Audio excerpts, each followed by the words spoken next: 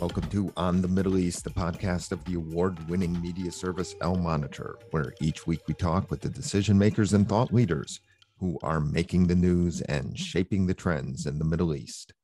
I'm Andrew Parasiliti, president of Al Monitor, and our guest today is Dan Shapiro, Distinguished Fellow at the Atlantic Council and former U.S. Ambassador to Israel. I first met Dan nearly 20 years ago when he was legislative director for then Senator Bill Nelson, who is now head of NASA, and I was foreign policy advisor to then U.S. Senator Chuck Hagel, who went on to be Secretary of Defense. In addition to his time with Senator Nelson and other staff appointments on Capitol Hill, Dan's distinguished career in government includes serving as President Barack Obama's senior director for the Middle East and North Africa on the National Security Council from 2009 to 2011, and then as U.S. Ambassador to Israel from 2011 to 2017.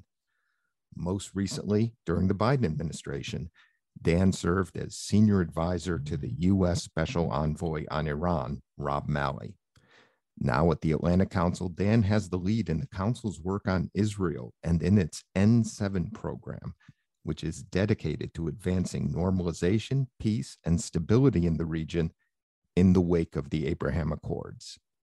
Dan and I will be discussing what to expect from President Biden's upcoming trip to Israel, the prospects for the Iran nuclear deal and an Israeli Palestinian peace process, further normalization with Arab states, and the next round of Israeli elections this fall. My conversation with Ambassador Dan Shapiro begins now.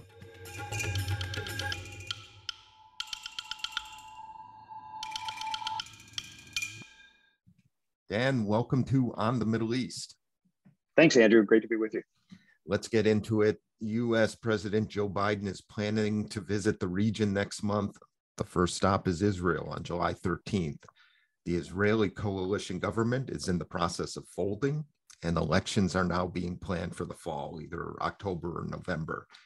How does the Biden visit play into Israeli domestic politics? Does it help Foreign Minister and soon to be interim Prime Minister Yair Lapid, who is, by the way, likely to face former Prime Minister Benjamin Netanyahu this fall? Tell us about what you expect in Israeli politics and how the Biden visit plays into that.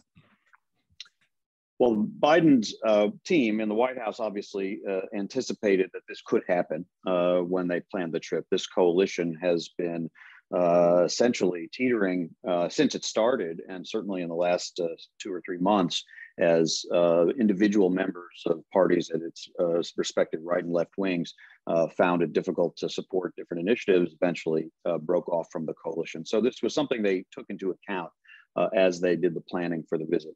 Uh, and of course, Biden, uh, being Biden, will play it straight. You know, he, he will uh, be greeted by whoever is the uh, prime minister at the time. It was going to be Bennett. Now it looks like it will be Lapid in an acting capacity. There's even a scenario, although unlikely, where it could be Netanyahu if you could pull together a 61 seat government, even be, you know, in the next two weeks. Um, but Biden will uh, treat this as a, a, relationship between two countries, a strategic partnership that transcends whoever is the sitting president, whoever is the sitting prime minister, uh, and he'll go about his business on working to advance uh, Israel's integration into the region, U.S. Israel security cooperation, trying to improve the atmosphere with the Palestinians, and preparing for the next phase uh, on Iran, depending on how the nuclear talks end up. And that's an agenda that he would work with whoever is the is the prime minister. Um, obviously, for uh, Lapid, who uh, was the, in some ways the senior partner in the outgoing coalition, he had the most seats, 17 for his party. Bennett only had seven seats, uh, which then actually he lost some. Um, it can't be a bad thing to be seen by the Israeli people uh, uh, playing that role, uh, receiving the president of the United States, who's obviously a good friend of Israel, uh, speaking for the country on these important strategic issues. Uh, there's no question uh, that any politician would uh, derive some degree of benefit from uh, people seeing him. Lapid has seeing him play that role. Lapid has been now in politics since 2013. Um, and he's progressively built a real party and taken on the increasingly senior roles in government. Um, but uh, he has not yet sort of crossed that threshold where uh, the Israeli people necessarily see him as uh, the prime minister. This role uh, that he'll take on uh, in mid July uh, will obviously help burnish that. Um, but I think Biden will be very careful not to say anything or do anything that seems to provide an endorsement. He'll, I expect, the normal protocol would have a, a, a, respectable short meeting with the leader of the opposition, that's Benjamin Netanyahu, who he also knows for, for many years. Um, and uh, Netanyahu will will certainly try to impress upon him that they might find themselves working together uh, several months from now after the election and a government's formed. But uh, you know, there's a long, long road to play. By the time this voting actually takes place in late October, early November, uh, the Biden visit will be, you know, quite uh, in the rearview mirror, and uh, the normal issues that define the outcomes of Israeli elections, which interestingly often is really at the margins. Does a small party uh, make it into the Knesset with four seats, or does it just miss the threshold and then its votes essentially go to waste and the, the votes are redistributed in another way that benefits different parties? Um, obviously, Netanyahu's uh, long tenure, but also his corruption trial that continues to, to, to go on, uh, the tensions between uh, religious and secular Israelis, between Arab and Jewish Israelis. Uh, those are the issues that will define uh, what is the actual outcome of this election, and which, of course, produced four stalemates and, and may yet produce a fifth. Uh, and so I think you know, in a lot of ways, the Biden visit will be sort of a, a footnote by the time the voting actually takes place. Dan, I want to ask you uh, your personal take on Netanyahu, how you see his prospects for a return. He's facing um, a court case. He, uh, the, the parties, the coalition government that came together seemed um, united mostly in their opposition to him, but he is back in the arena and has a strong chance of being prime minister again, as you just pointed out you were ambassador during a scratchy time in U.S. Israel relations. You dealt with Netanyahu as prime minister.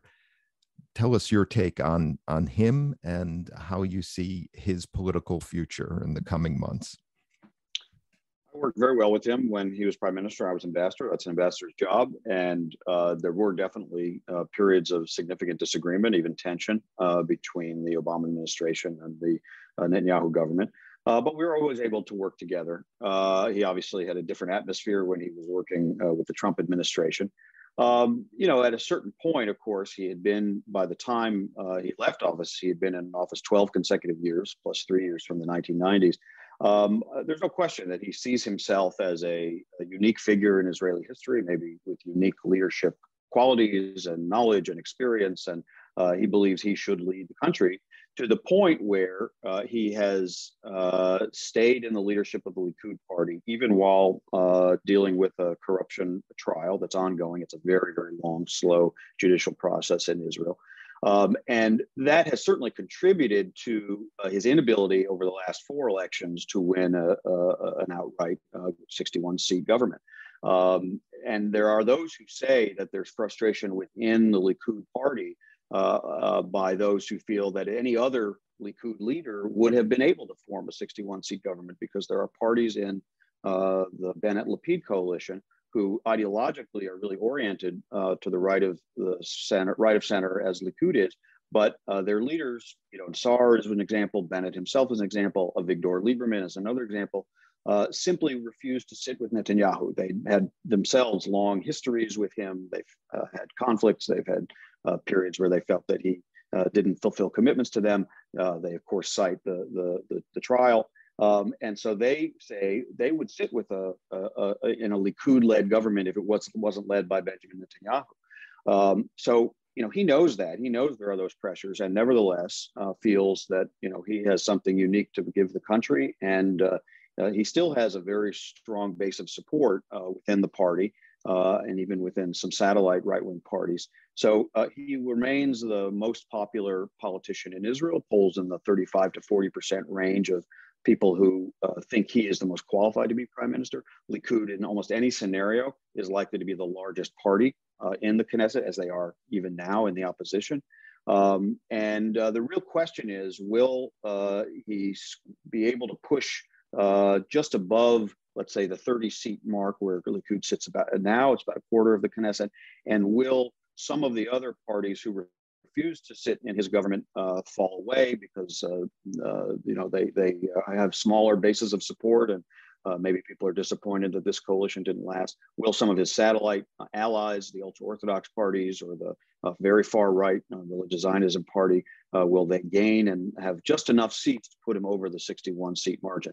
Um, the polls are, are suggesting in this early stage of, of an election season uh, that it's too close to call, uh, that it could easily tip either way. Uh, there's a long road to go, uh, and it will really be decided at the margins. So uh, he's he's in the arena. He has a chance to be the next prime minister, but of course, after four consecutive elections where he could not put together that kind of a coalition, there's certainly every possibility that there could be a fifth election with a with a, with the same kind of outcome.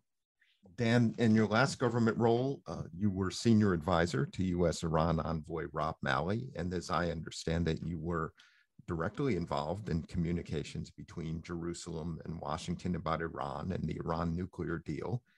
Outgoing Prime Minister Bennett considers it a win that he got President Biden to not delist the IRGC as a terror group. And the prospects of a nuclear deal, at least today, seem slim which Bennett, I think, considers a, a key success of, the, of his government. Help us understand Israel's position on the Iran deal and how you see the prospects for a return to the JCPOA at this point. Are the US and Israel on the same page? U.S. and Israel uh, during the Biden administration and the term of this government uh, certainly disagree on the bottom line about uh, whether or not a return to the JCPOA is uh, desirable uh, or the best available outcome. I mean, I think one of the things that's important for people to bear in mind as they consider this issue is that uh, Biden, upon taking office, was faced with two pretty bad choices, two pretty bad options. Those were the ones he inherited from uh, decisions made by his predecessors. One is to return to the JCPOA halfway through its 10 to 15 year term, so with maybe six, seven, eight years uh, left, uh, with Iran having made significant advances uh, in its uh, in its nuclear technology in the meantime, so that you couldn't get the original 12 month breakout that the JCPOA promised for those six or seven years. You would get maybe six or eight months, something in that range. Um, Iran, of course, would receive uh, sanctions relief and significant revenue with which it could fund a number of its uh, non nuclear uh, aggressive activities, terrorism, missile programs, UAV programs, uh, and the like. and so that's a somewhat unappealing option. It's uh, only that the other option was even worse, which was because Iran had uh, advanced its program once President Trump withdrew from the agreement and now sits essentially on the threshold of having a uh, enough uh, enriched uranium for a nuclear weapon, it's essentially a nuclear threshold state. And so, if we do not go back into the JCPOA, that's the new reality. And going forward, we will all have to deal with Iran as uh, uh essentially uh, having achieved that nuclear threshold state status, only awaiting its ability to actually weaponize uh, the, the materials into a, into a bomb. Now, the Israeli position has been uh, well, it's, uh, to back up, the Israeli position all the years I worked in the Obama administration was that they would never allow Iran to cross that threshold. They would never allow uh, Iran to have what they called a nuclear military capability, which is a lower threshold than a nuclear weapon. And they defined it as exactly what it is now, having one sufficient quantity of enriched, highly enriched uranium to produce a bomb. When Benjamin Netanyahu drew that red line in that famous speech at the United Nations in 2012, that's what he was expressing that Israel was not going to permit Iran to cross that threshold. And that was actually something that the JCPOA delivered on, at least for the term of the agreement. Uh, it could keep Iran below that. So it's a, actually a fairly significant shift uh, in Israeli thinking that among the available options, uh, and again, uh, one has to be clear that all the options are pretty bad here, uh, they're prepared to live with Iran for some period of time uh, in that status. Uh, and then we're shifting into somewhat different mode. We're shifting into a deterrence mode, which is not a mode we've needed to be in. We've been in more prevention mode for the last couple of decades. Um, we uh, the Israeli concept is that uh, after uh, the JCPOA is declared dead, uh, European sanctions could snap back into place. Uh, additional sanctions could be applied against Iran, and then under even greater economic pressure, Iran uh, would uh, be willing to agree to a, an even tougher deal where they'd relinquish uh, this uh, status that they've achieved as a threshold state and they'd put in place even stricter constraints for even longer periods of time uh, to make sure they can't ever achieve a nuclear weapon. I think that's a, a fairly dubious uh, prospect that Iran would actually agree to those things. Iran certainly has shown a willingness and even an ability to uh, hunker down and uh, and and uh, absorb the pain of sanctions. They look for other outlets through China, through Russia, through other uh, trade partners who are less uh, committed to enforcing existing sanctions. Um, so I think it's a it's a questionable assertion that they would uh, ultimately be brought back into a tougher deal. But again, we may find ourselves in that situation simply because Iran and the United States have not been able to to agree on it. Uh, the the president, I believe, was right to uh, not uh, agree to designate uh, to remove the IRGC from the terrorist uh, designation uh, list. they this is essentially an issue outside of the bounds of the JCPOA, and the U.S. position on that, as I understand it, it's been articulated since I've left government. Uh, is that if Iran uh, wants to make demands or get additional concessions that are not related to the JCPOA, it will have to put its own uh, concessions uh, into the discussion as well. Uh, and the IRGC obviously uh, conducts and sponsors terrorism uh, around the region. Uh, if Iran wants to talk about removing Iran from the IRGC from the FTO list, they should talk about ending those activities. They shouldn't just get it as a throw in to a restoration of the JCPOA. What are the chances, and in, in your view, I know you're out of government, whether there would will be a JCPOA? You worked on on the account with with Rob and, and others, and how do you see uh, the discussions around a Plan B? Or I should say, the U.S., Israel, and others have been discussing a Plan B for dealing with Iran should there not be a JCPOA renewal. Uh, what's the nature of those discussions? And and obviously if if there is no jcpoa and iran is now uh, the timeline is is shortened from a year to to weeks uh, what do you think that does with regard to decision making and planning in israel and dealing with the iranian threat? I think neither side, neither the United States nor Iran, has an interest, at least not yet, in declaring uh, the talks dead in declaring the effort to negotiate a return to the JCPOA failure. And that suggests that both sides feel they have something to get out of it. I've explained what I think the U.S. has to get out of it, which is buying time. It's not more than that. I don't want to suggest it's a it's a, it's a final solution or final resolution to the uh, Iran uh, nuclear uh, pro- uh, uh, problem, uh, but it would buy uh, more time than any other alternative, and the alternative is leaving Iran to the threshold state. So that's the U.S. interest. And I think the Iranians have come a fairly long way in those talks because they actually do want the sanctions relief that's promised uh, in uh, those talks. Their economy is in terrible shape. There's food riots and, and other protests about inflation, the inflationary pressures there. Uh, and they've sold to their people, this new government, the Raisi government, had actually marketed to uh, the people that they would be able to deliver sanctions relief that the previous government did not. So I think they have an interest uh, in, in getting there. So neither side will declare it dead yet, uh, but it's certainly on life support. Um, uh, whether or not uh, it could be resurrected later this summer or in the early fall, I, I suppose we'll have to we'll have to see. I, I think in some ways, uh, President Biden's decision uh, to remove the discussion of the IRGC uh, FTO decision from the table is actually helpful in prospects to get to the deal because it clarifies for the Iranians what the choice is. They either get into the deal on its own terms uh, or they make a decision and then they have to justify it to their own people uh, why uh, that's not happening.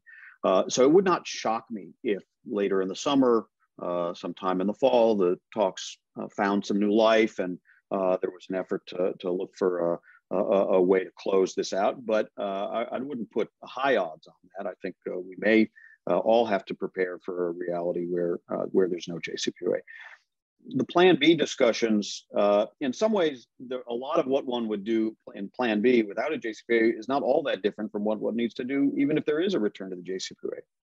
Uh, Iran is going to remain a significantly threatening uh, country uh, to Israel, to the Gulf states, to many other U.S. partners, to the U.S. presence in the region generally and, and our interests generally. Uh, regardless. And so uh, there's a, a, lot of work to do uh, on, and some of this will be discussed during President Biden's trip, both to Israel and to, to Saudi Arabia, where he'll meet with a, a large number of regional states. Um, uh, to integrate the air defenses uh, of uh, the uh, U.S. partners, which can now be done more easily under the leadership of CENTCOM, because Israel is a member of CENTCOM uh, and brings its uh, military, its missile and UAV defense technologies into the table.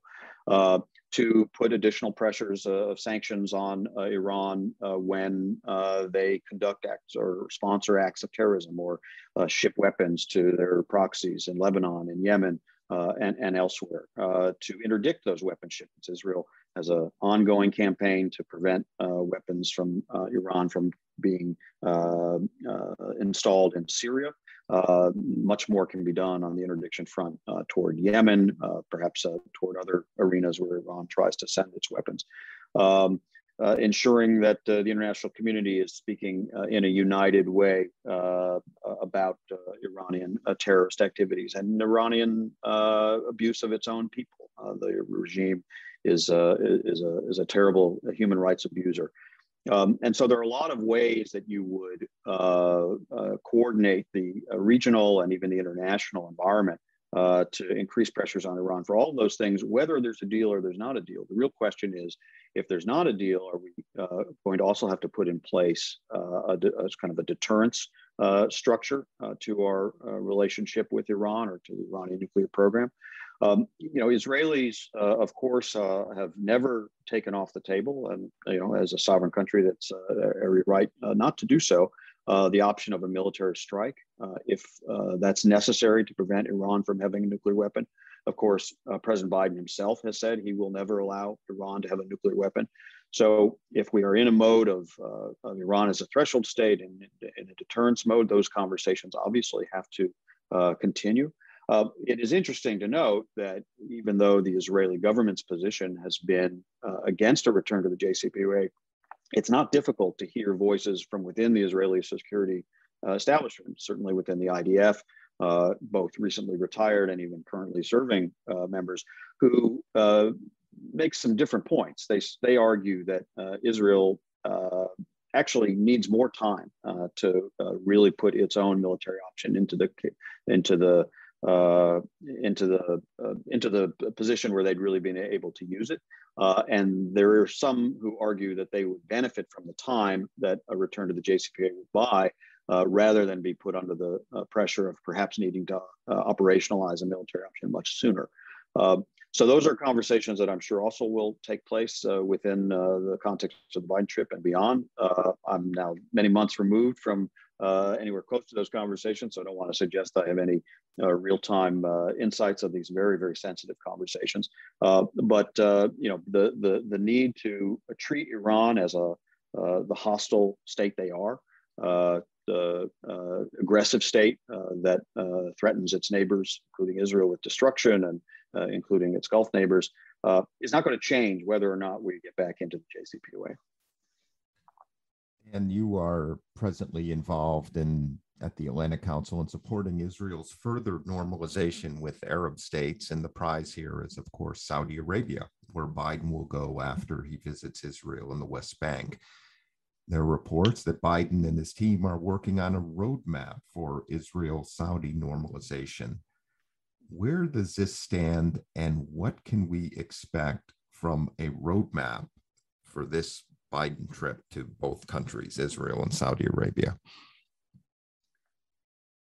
Uh, President Biden's team has been working uh, with the Saudis uh, really from the beginning of the administration uh, on uh, a, a, phased process uh, that could lead to full Israeli Saudi normalization. Now, of course, that's gotten tangled up with some of the tensions in the bilateral US Saudi relationship. Um, obviously, there's the, the, long overhang of the terrible murder of Jamal Khashoggi. Uh, there's uh, other uh, actions taken by uh, the Saudi uh, leadership that have been uh, hard for the U.S. to kind of accommodate within its own interests, including more recently not being as full-throated in condemning Russia's um, invasion of Ukraine uh, or suggesting that there may be a strategic option for a relationship with China. Uh, and so these tensions uh, have, I think, in some ways complicated the path toward uh, Saudi-Israeli normalization because uh, you know it, it, would make most sense uh, for all these parties to be working well together as that as that process would unfold. Uh, I actually think the decision uh, by President Biden to travel to Saudi Arabia is, is very significant uh, and and very important and very difficult. I don't underestimate the debate that must have taken place internally, the sense that there are remain many um, outstanding issues, certainly those relating to human rights uh, with Saudi Arabia, on which we're not in, in agreement and which we'll have to work on over time.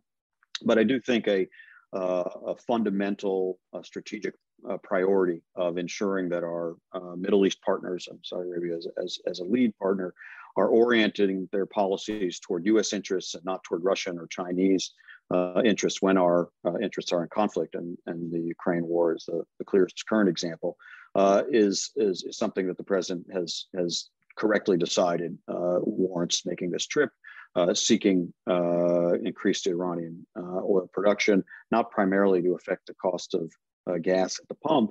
that's not going to happen in, in in a very real in a very quick time frame. But rather to increase the bite of sanctions on Russia and to ensure that there are non-Russian energy supplies available on the market for European countries. Uh, so I think this is the correct thing to do. Uh, obviously, the Saudis are looking for additional U.S. commitments and guarantees about their security vis-a-vis the threats they face from Iran, and I think uh, that conversation is also uh, coalescing. In fact, the Abraham Accords and Israel's participation in CENTCOM help make that possible. You have the emergence of a coalition of like-minded U.S. partners in the region, all focused on the same threats, pooling their knowledge, pooling their resources, working together uh, to attend to their own security needs with the U.S. as a partner, uh, but not always as the lead, not always as the tip of the spear. In fact, I think that's uh, a recipe to help the U.S. presence in the Middle East remain at a, at a sustainable pitch, uh, rather than uh, have force us to surge in beyond what the American people are ready to, to support or to withdraw beyond uh, what our interests can can can sustain. Um, now, again, in the context of that progress on US Saudi bilateral uh, relations, uh, it's certainly uh, the right moment for the Saudis to take a, a step toward uh, normalization with Israel. What's on the table for discussion, it appears, is uh, the restoration of Saudi sovereignty over two islands in the Red Sea that uh, were under Egyptian control during the 1967 war. Uh, but uh, if the Saudis control uh, the, the, they would have to guarantee Israeli freedom of navigation uh, in those waters. Um, but they would have the restoration of, of control over that, uh, that, Saudi territory, and then in exchange, a, a decision to permit Israeli civilian aircraft to overfly Saudi Arabia. El Al Airlines and other non-Israeli airlines flying to and from the Far East over Saudi territory, which saves a lot of a lot of time and, and fuel costs. Uh, those would be meaningful steps, uh, but you know would leave a lot of room still for uh, ramping up to a full recognition, exchange of embassies, uh, uh, security, open security partnerships. I think the Saudis are making very clear that they're moving in this direction. They recently allowed Israeli business people to come to Saudi Arabia on their Israeli passports.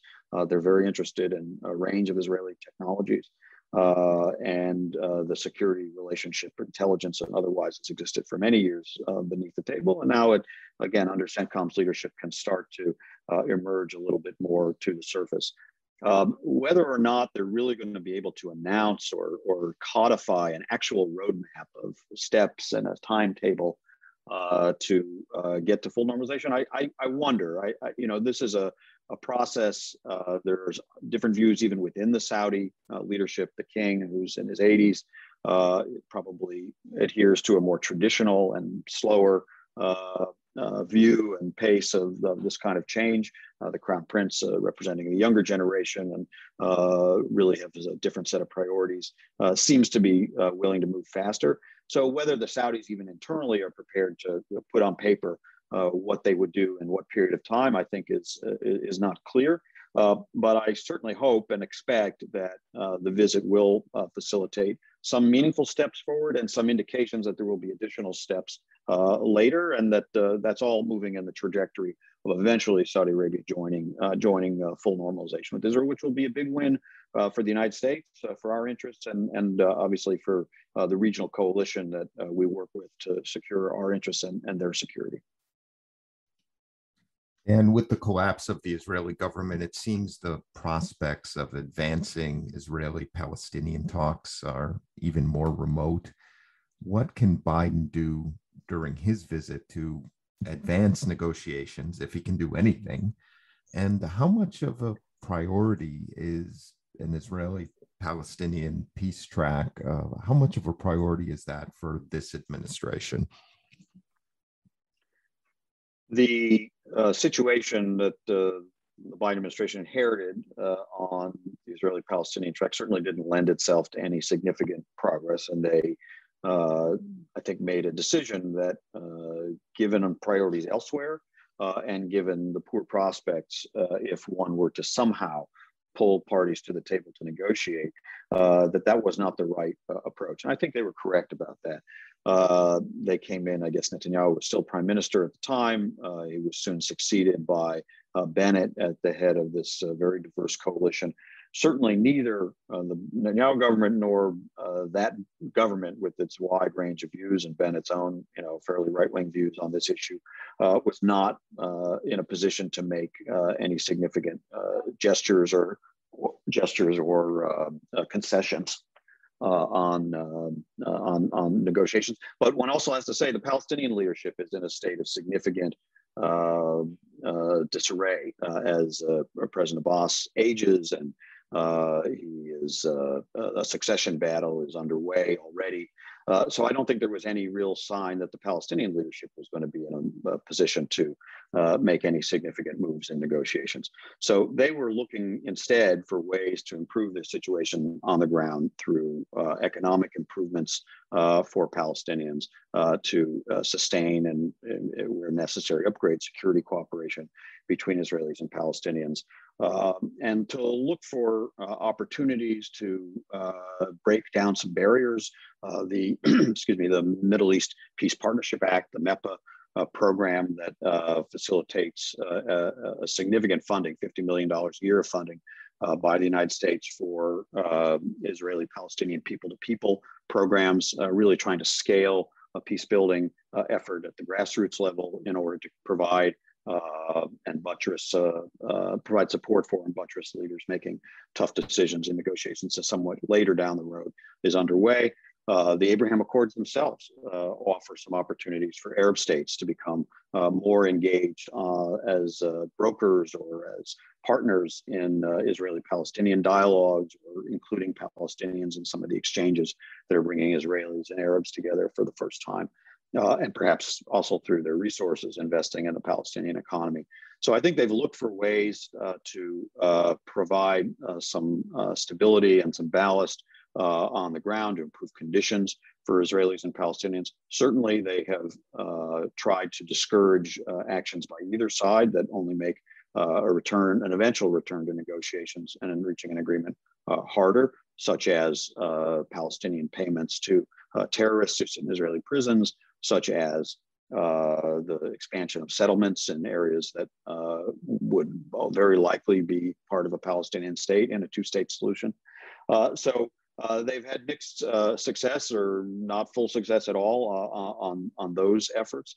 Um, I think you know President Biden will certainly see President Abbas and certainly restate the U.S. commitment to a two-state solution. but I do think that in the interim, uh, they are uh, focusing on trying to improve conditions on the ground, trying to uh, lower the barriers to an eventual return to negotiations or return to um, uh, uh, uh, some discussions about a final status agreement. But they are really not expecting that that's going to be possible in the current leadership dynamic until there's some certainly this election plays out in Israel and and they see what kind of government they're dealing with there. Uh, probably uh, it, it, may require a transition of leadership on the Palestinian side as well. Uh, actual negotiations uh, are unlikely and certainly unlikely to succeed if they're convened Uh, and so uh, there's, uh, um, you know, the, the, the better the available choice, it's not that satisfying, is to try to lower the barriers to an eventual return to two state talks, but only after there's some change in leadership. And how complicating for Biden and for US Israel relations will be the reported recent Israeli settlement activity and the killing of Palestinian American journalist Shireen Abu Akleh? Well, again, Biden uh, has been critical of that settlement activity, and uh, he will be. I don't think he'll uh, hold back on uh, stating his view on that on uh, uh, on, on his trip. The really tragic killing of Shireen Abu Akleh certainly continues to warrant a, a proper investigation, and that's been the administration's position as well. They've encouraged uh, Israeli authorities and the Palestinian Authority to work together on that uh, on that investigation. Uh, I know from you know my experience and some uh, similar uh, cases uh, that actually getting those two sides to trust each other enough to to work together or to, to get to the bottom of the the story is very very difficult. so I'm not sure that that's going to be possible. Um, uh, you know, uh, of course, her killing was very, very tragic. Uh, the investigation must uh, take place. Of course, in addition to uh, her status as a journalist and a, and a, Palestinian, she's an American citizen, and so uh, the U.S. government certainly has an obligation and an interest in in getting to the bottom of it. Um, but of course, all of these types of tragic situations are, uh, you know, they can be viewed on their own terms and, and be dealt with a, a, in their own on their own merits. But they are also symptoms of a conflict that uh, remains stuck, uh, that is not going to be resolved uh, until eventually uh, parties, uh, both parties, sit down at the table and uh, think about what a different future uh, looks like. Uh, as I said, the current leaderships don't seem to be the ones that are likely to be able to do that. Uh, so uh, I, I, know Biden will raise these issues, uh, but again, they, they are symptoms of a bigger problem. and the bigger problem is not solvable now, but he is trying to put in place a somewhat better atmosphere so that that the, the possibility still remains uh, for uh, a resolution through negotiations in two states, uh, but somewhat later down the road. And this has been great. I uh, need to note or amend my um, introduction of you in the beginning that uh, you reminded me you were an Al Monitor contributor in the past.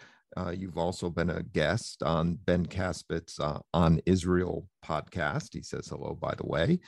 And it has been a real pleasure today to have you join us on on the Middle East. Hopefully, we'll have you back again soon.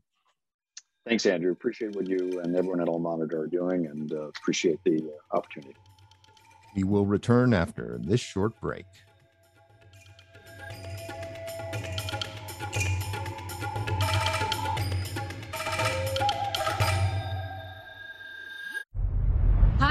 Elizabeth Hagedorn, and I'm the State Department correspondent at Al Monitor. And I'm Joe Snell. I'm Al Monitor's video editor. Let's admit it, this past year has been difficult to stay on top of the news and sift through what's accurate and what's misleading.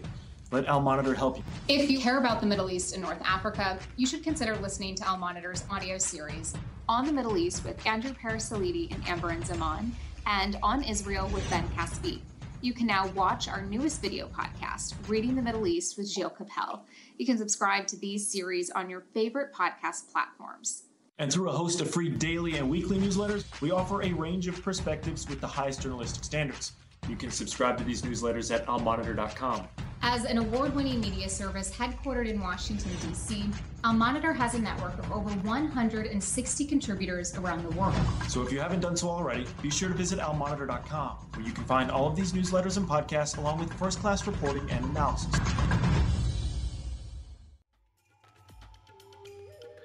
Thanks to our guest today, Ambassador Dan Shapiro, and to our production team of Beowulf Rockland and Rosabelle Hine of Two Squared Media Productions.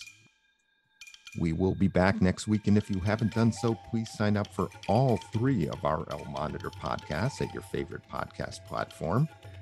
Reading the Middle East with Gilles Kepel. Gilles' guest this month is renowned Israeli French artist and playwright Amos Gitai.